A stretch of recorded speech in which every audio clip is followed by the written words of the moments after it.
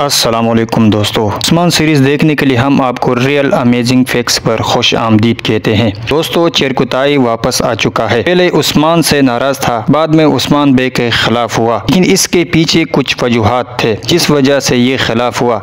लेकिन अब चेरकुताई वापस आ चुका है। अब चेरकुताई उस्मान के शाना बशाना लड़ेंगे। पहले एपिसोड में आपने देखा होगा कि उस्मान बे ने चेरकुताई को मुहिम पर भेजा था। मुहिम ये था कि तुम और सालगर जाओगे और कैदियों को बचाओगे। और फिर चेरकुताई सालगर जाते हैं। आने वाले एपिसोड में अब देखेंगे कि चेरकुताई कैदियों को बचा लेगा।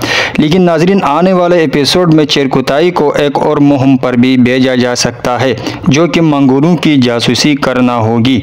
मंगोल वापस आ रहे हैं। आने वाले एपिसोड में मंगोलों की ज़बरदस्त एंट्री होने वाली है। चेरकुताई जासूसी करेगा। जब जब मंगोल आए हैं, चेरकुताई ने जासूसी किया है। जी नाजरीन, अब ये दोबारा होगा। चेरकुताई अब बहुत अहम काम करेगा। यानी वो उस्मान बे का वही सिपाही बन जाएँगे, जैसा कि हम सीज़न फोर में देख चुके हैं। अब चेरकुताई उस्मान बे के लिए जान कुर्बान कर देगा और सीज़न के आखिर तक चेरकुताई की शहादत भी हो सकती है। ये खबर हम पहले भी सुन चुके हैं।